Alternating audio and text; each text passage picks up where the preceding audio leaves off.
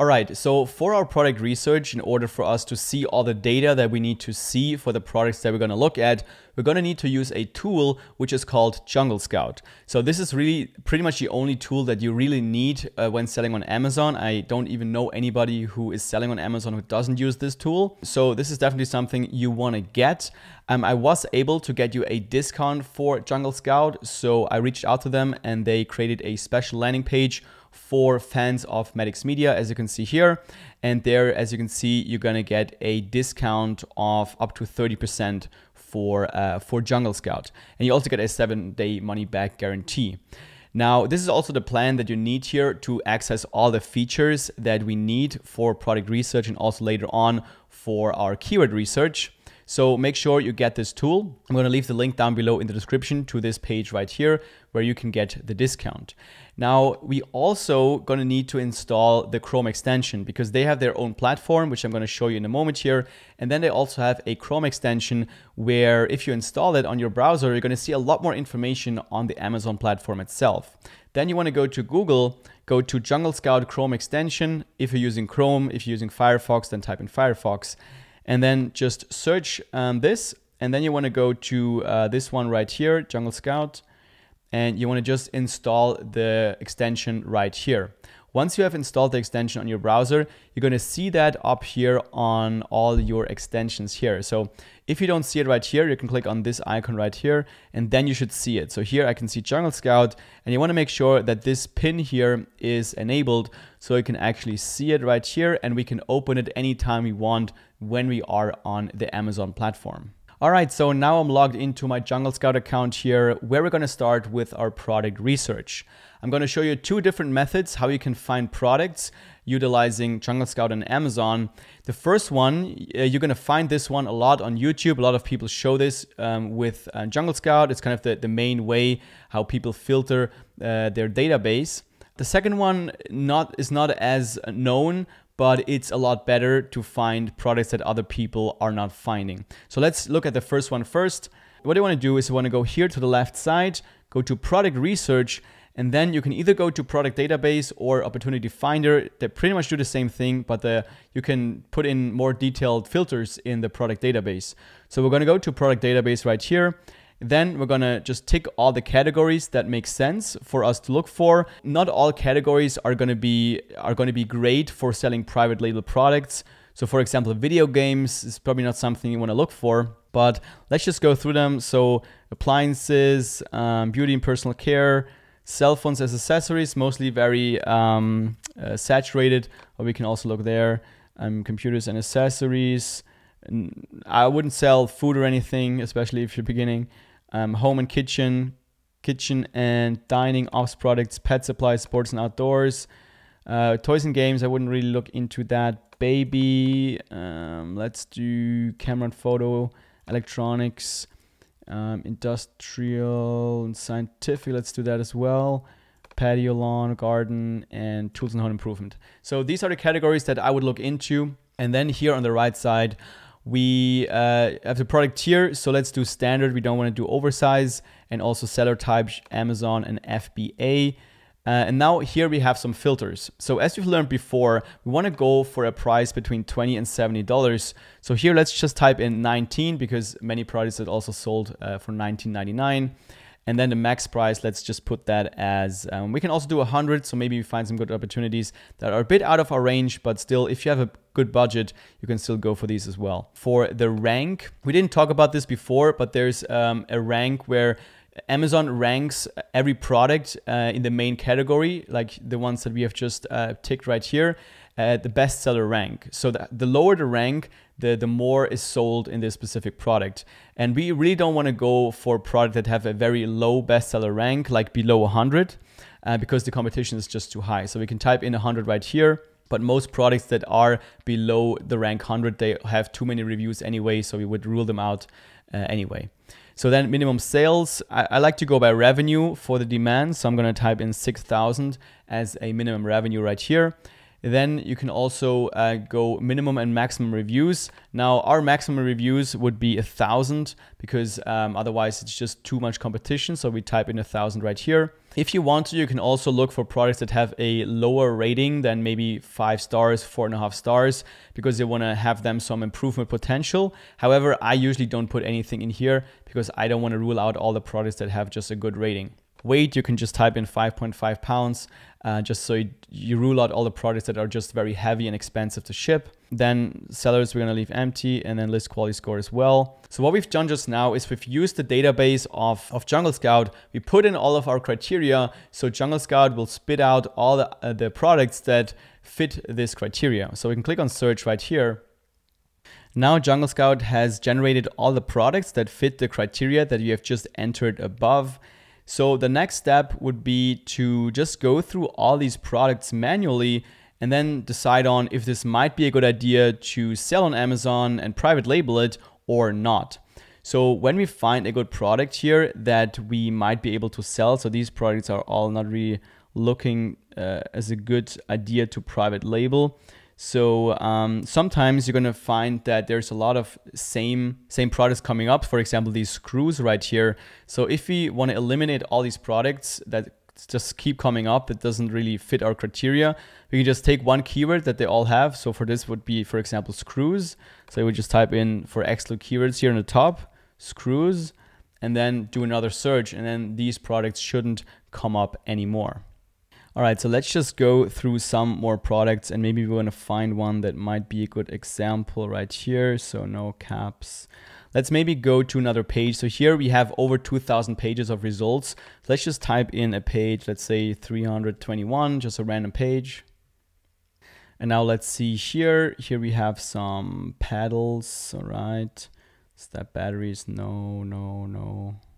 So here I found a product which might be worth looking into, which is this um, bird feeder. It's just something you hang in your garden and then the birds will come and eat your stuff.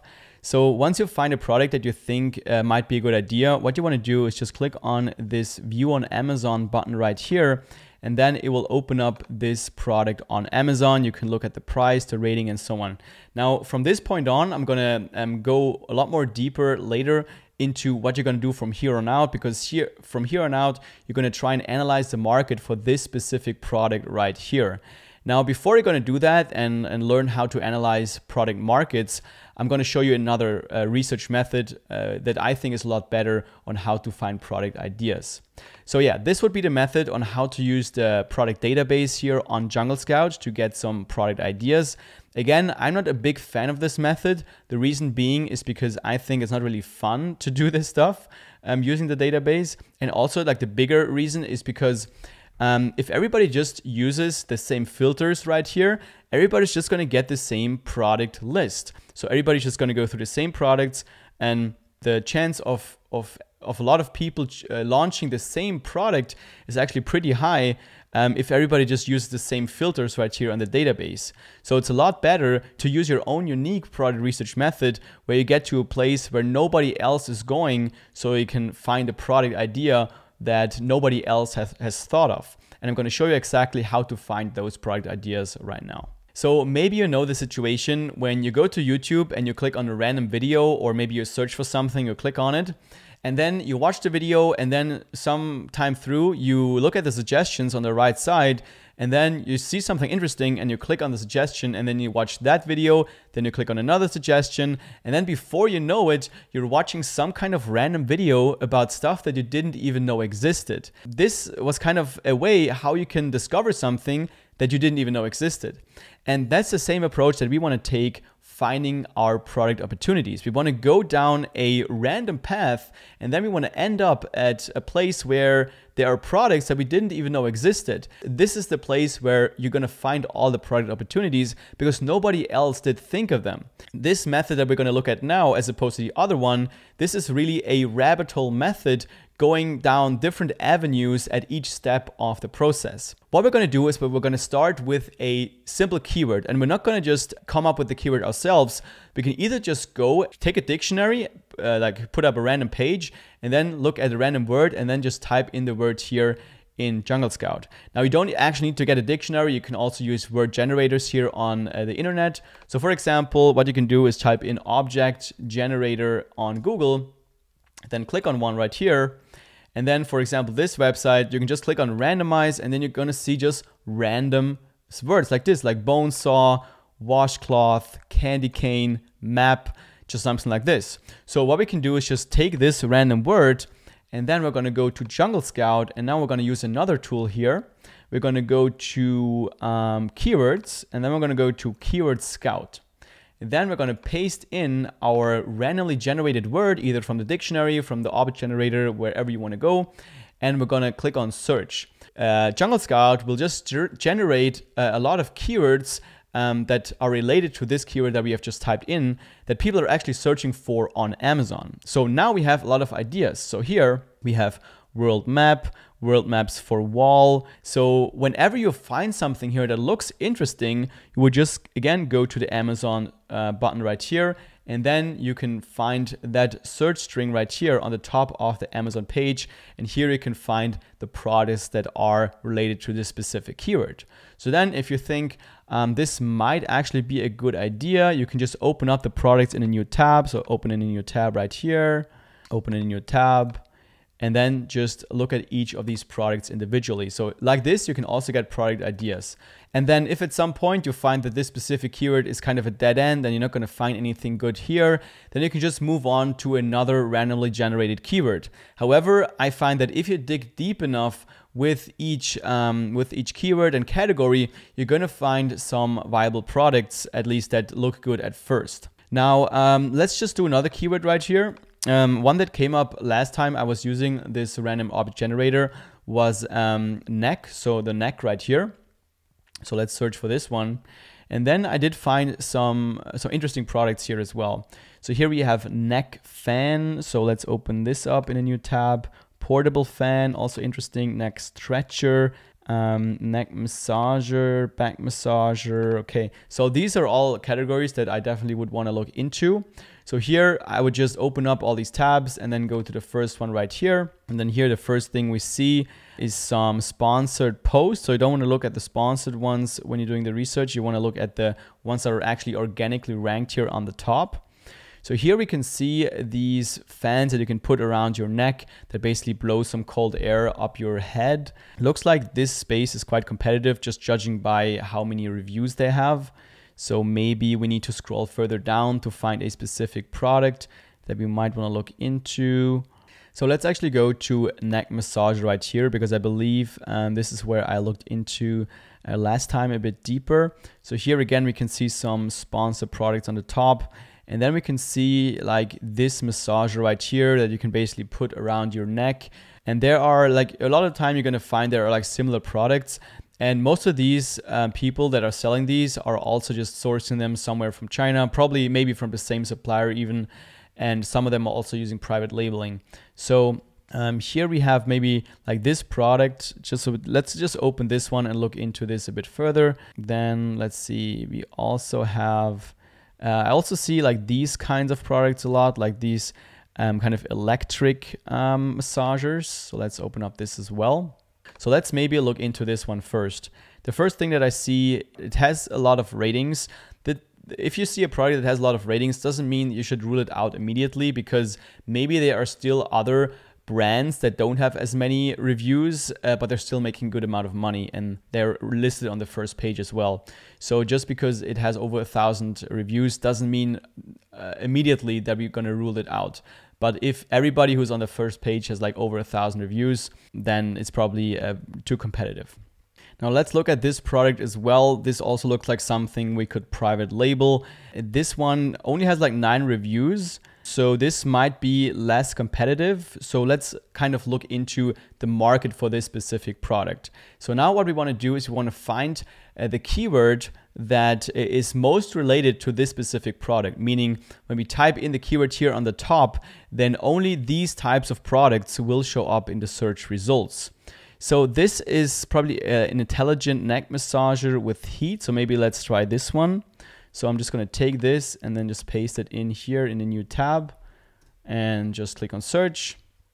You want to ignore the first sponsored products again. So here are the sponsored ones. And then here are the organic search results. So here it looks like this is really kind of the keyword that leads to this specific product. So with this page right now, uh, we can now analyze the market of this specific product. As you can see, all these products are very similar. They are kind of like a, a necklace that you can just wear and they have these two pads, which is kind of like electric massage or something like that. So now what we're going to do is we're going to use the Chrome extension of Jungle Scout. So here we're going to go to the top right here. Actually, we're going to close all the other tabs. So otherwise my computer is probably going to just be too slow here. All right. Now we're going to click on the Jungle Scout extension right here. And then it will open up all the products here on this specific page. So we're just going to need to give it some time so it loads all the products. Okay, so now once this button here um, is not gray anymore, it's uh, all loaded and we can actually start to look at it. I'm just gonna make it a bit bigger like this. And then the first thing we wanna do is we wanna sort them by bestseller rank, meaning that the one that sell the most are gonna be at the highest right here. So here you can see rank. So we're just, we're just gonna click here on rank and then it will uh, sort it from lowest to highest rank. And then what we want to do is we want to go through all these products and delete the ones that aren't the product that we are actually looking into. So we're looking into this electric pulse neck massager, uh, as you can see right here. This is probably, this looks pretty much the same. So uh, we're going to leave this. Then this one here is something else. This one would be the neck massager. So we're just going to click on the cross right here. So it's going to be gone from our list. And we're just going to go down um, this also actually looks a bit different. So as if you look closely to the sides, it doesn't have those three dots or actually I think this is photoshopped in. So I'm gonna leave this in right here. It looks like the same product. Um, this one as well, this one as well. This one looks actually different. So I'm gonna just uh, delete this one here. And you're just gonna keep doing this until you only are left with the, the main products right here. So now I've deleted all the products that are actually a different kind of product because we are looking for this specific one. And uh, what we're gonna do now is we're gonna analyze the market based on the data that we can see here. So we're just gonna go from left to right through all of these um, columns right here. First of all, the brand. So as we can see here, we have multiple different brands selling the same kind of product. So the first one would be Clitellius, then Yomisoy, then SkinKit. So this is actually a good sign because then we can see people are buying from multiple different brands and they're like not loyal to just one brand. Meaning that if we enter with our own brand, we have a good chance of being able to compete with these brands that are currently selling. The next thing we want to look at is the price. So like we've said before, we want to look at something between 20 and $70 optimally. And the top competitor here is selling for $38, which is a pretty good price to sell for. There's also somebody who's selling for $55. This is probably like a more premium one. In terms of price range, it's definitely in our in our criteria. Then we also have the revenue. So we use the revenue to, de to um, determine if there's actually demand for this product. So the top selling product right here with 32 sales a month is doing just over 33,000 approximately uh, in revenue per month, which is uh, not that bad. Like it's it could be more uh, for the top selling product definitely, but it's it's something that is in the range that might be worth going for with our range, we said we don't want to go with for every anything that is below $6,000 in revenue per month. Now, the next thing we're going to look at is um, the rating number. So here we can see there are two products that actually have over a thousand reviews. Now, judging by the review, like they have four stars and the top one has also four stars. So if we are able to maybe uh, address the issues that they had because they could definitely have a better rating we might be able to still get into the market and you can also see that they're like this product right here is making just over 7000 in revenue with only 45 um, reviews and this for example like this one is making over $9000 with only nine reviews so there's definitely potential here to get into the market. So I wouldn't be thrown off too much just because some competitors have over a thousand reviews. Um, and you can see also that the rating is pretty low actually, like 3.8, 3.4. So there's probably a lot of problems with this product. A lot of people are unsatisfied with this product. So uh, if, if you're going to notice that it's going to be very hard to satisfy your customers with this specific product, it's probably worth it not to go for it. However, if you're going to find a way how you can improve it and actually address the issues that the people have when you read the reviews, this might actually be an opportunity for you to get into the market with a better product. Now I quickly pulled up another product right here, which is this eye massager. So I didn't even know this existed, but apparently you can just put this on your face and then it massages you and maybe it's good for headaches and stuff. Um, so the thing I want to show you here is that you can see that this Renpo, Renfo brand, they're really dominating the market for this eye massager right here because they are like really, they've taken the majority of the market share as you can see by the revenue numbers, by the daily sales and so on. Um, there are other brands also making money, but compared to what the main brand here is making, it's really, it's really and not that much. So this would be a situation where I wouldn't go into the market if I see there's like one dominating brand, which is probably going to be very hard to compete with because eventually the long-term goal is to become the number one brand in your niche for your product because that's where the most amount of money actually is.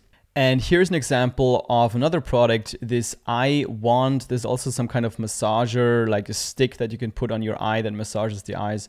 And I just wanted to show you this because um, this is an example of where there's just not enough demand. So as you can see here, the revenue numbers are pretty low. Like the top product here is making just over $6,000. So um, this would be a situation where even though the rating numbers here are very low, so it might be easier to get into the market, but still it's not worth your time and effort and money to to try and scrape some pennies right here because there's just not enough demand in this specific market for this specific product. Now for the rest of this video, I did choose an example product that I found before I even started recording here. And I'm gonna quickly explain to you how I found it. I basically was looking for some kind of gloves or something like that. And I didn't, I don't, don't even remember. I just noticed that uh, in the results right here, I just found something where it says survival gloves or something like that. And then it came like to my mind that survival might be a good niche to look into. So I typed in uh, survival tools right here on the top. Like this is also, uh, when you just browse Amazon, you just randomly get ideas and you type it in and then you find random products.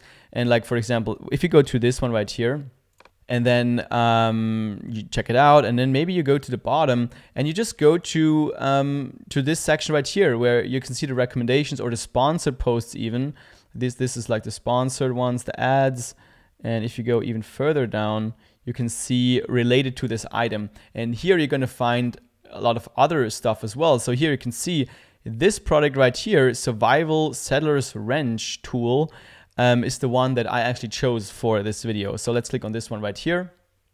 So here it opened up. So here a very low price point. This is actually quite a cheap version of this one. Um, so what I've done here is it looked to me like I didn't even know what it is. It looked interesting and it uh, foremost, it looked very simple. So I, I thought like there's not much that can go wrong with this product. Again, when we see a product that we find interesting, the first thing that we're gonna do is we're gonna try and find the, the keyword where when we type that in, only this specific product comes up because this is how we're gonna analyze the market for this specific product. So here we just look at the title, Survival Settlers Wrench Tool Bushcraft. So I think what I've entered is just Settler's Tool and then I think only those ones came up. So we want to ignore the sponsored ones here on the top. As you can see, all the results is pretty much the same product right here. So um, now we're going to again go to the Jungle Scout extension right here, click there, and then it will just open up all the data for all the products on this page. So I've already loaded the results, um, sorted everything by ranks to have the lowest rank here on the top, which is the best selling one and then um, also have deleted the products that don't really are the same product here as the one we want to look into. So this is a kind of like a survival bushcraft product that you can use to kind of build wooden houses and stuff like that. I didn't even know that existed actually, but apparently it's a very convenient tool to survive in the wild basically. So um, again, we want to look at the market. So first, do we have multiple competing brands? Yes, we have like this main one right here, Wayland, then Ritster, Pack Stay and stuff like that. And um, then the price point is rather on the lower end of our optimal range, but still like the top competitor is able to sell this for $38, which is which is great. And they're uh, making like 43.5 thousand in revenue per month. Um, when I looked at this first, it was like 80,000. So um, they're easily making like 10 to 20, 25,000 dollars in profit per month just from this one product. The rating number is all right, so it's almost a thousand. And um, but you know the, the second competitor right here, which is already making 10k in revenue per month, they don't even have a logo on the product, so they, they're not even really private labeling. They do have like a brand name in front of it, but they don't really have a logo. Um, but they still have a lot, a lot of good reviews. So uh, it looks to me like it would be possible to enter this market with really good branding and marketing and a good listing and stuff like that. So that's kind of what I looked at. And now we're gonna look at each of the nine criterias in detail for this specific product to decide on if it's gonna, uh, it's gonna remain on our product opportunity list or if you're gonna move on to another product.